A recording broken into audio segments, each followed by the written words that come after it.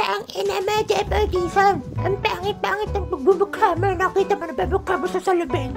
Tang ina mo. Ang pangit mo, ha?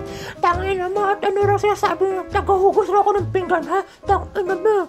Nakita mo ba ko? Pilay siya na ikaw ano, ha? Tang ina mo, squatter. He, nagyayabang ka may laptop ka, kita mo to, kamas ka sa mukha mo, no? Tangina mo, eh, ha? ano, halalaban ka pa? Tangina mo, mag-stand ka na dyan, time ka na eh.